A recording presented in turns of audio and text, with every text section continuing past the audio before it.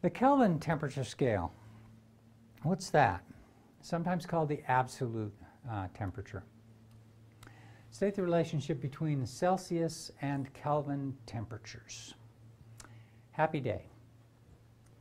This uh, T we just used to denote the Kelvin temperature because physicists really like the Kelvin temperature scale. Chemists do too. And that's equal to the Celsius temperature plus 273.15 degrees. What does that mean? Well, here's a kind of a, a graphic to show at absolute zero, um, that's the coldest temperature you can get. And you can't get any colder. The Celsius scale is 100 at the uh, steam point, boiling point, 0 at the freezing point, and then it's a negative 273.15 at this absolute zero. How do you know that? Um, well, let me show you in just a second. So uh, the Kelvin scale starts with zero at absolute zero. And then at the ice point it's 273, and then at the steam point it's 373.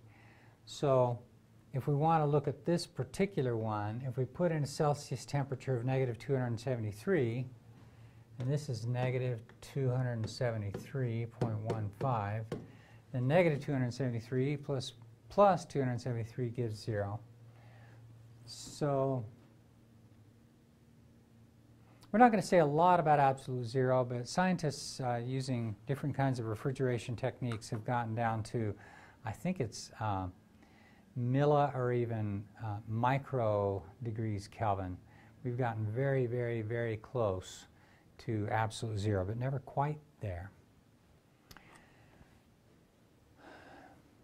So this is uh, measurement of the absolute pressure of a, of a gas as a function of temperature.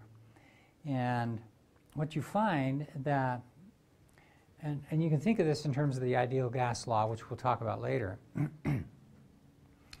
but PV equals nRT, um, when the Kelvin temperature is zero in the ideal gas law, um, then the pressure goes to zero. We can't actually get there, but you can extrapolate, and that gives you an idea that, that there is, even from looking at regular old gases, that there's a point at which the, the pressure goes to zero. absolute zero on the Kelvin scale is 0K, like we talked about. What's absolute zero on the uh, Celsius temperature scale?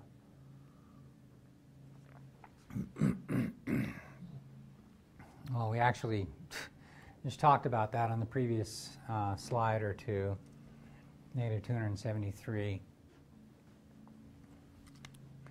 It's on that little uh, graphic.